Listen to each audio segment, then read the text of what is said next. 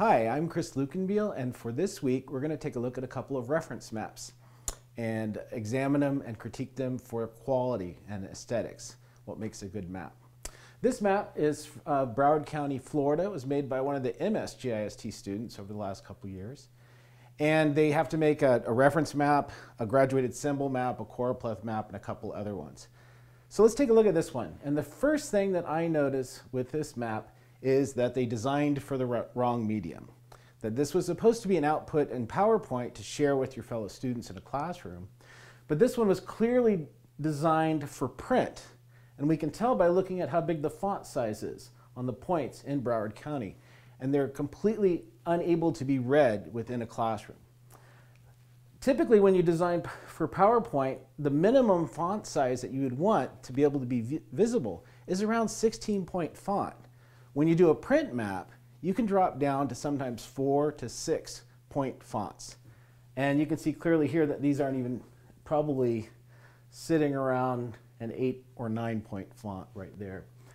Also, the second thing I notice is just sort of a bland figure ground contrast. This black background is supposed to be giving the, the main body of the map kind of that pop effect. And the same thing with the red but it kind of feels to me like it was overdone, like it's a little lacking of taste. This high red color is in a different color palette than these pastels here as well. So it's supposed to give a pop effect, but it's actually kind of distracting.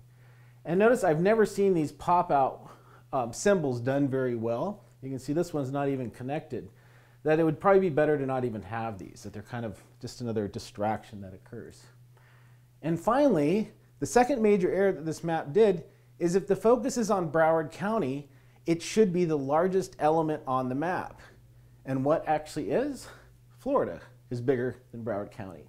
So they've actually got the emphasis reversed, that Broward should be larger and Florida should be smaller.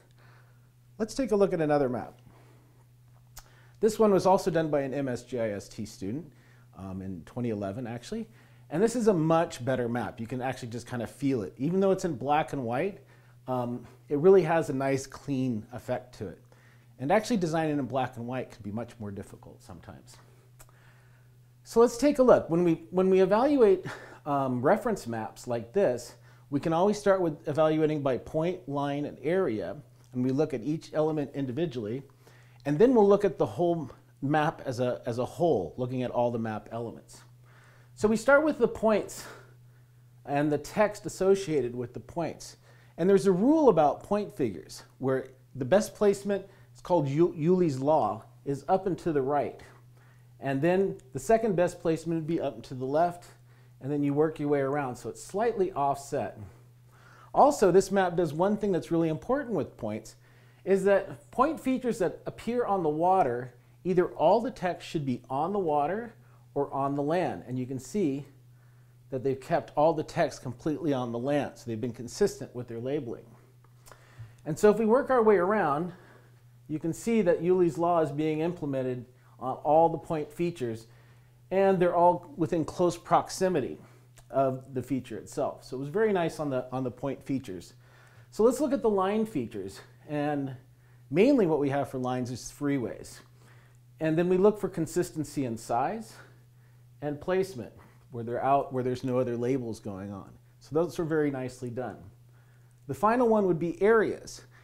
And the emphasis is on Wayne County. So we got a nice big Wayne County and the white is making it pop. And then notice the other counties have a darker or like a 40% gray tone effect, which is very nice because it's supposed to make it less emphasized, make it recede a little bit. And to keep it consistent, Wayne County is in the same font um, size and tone as the other ones.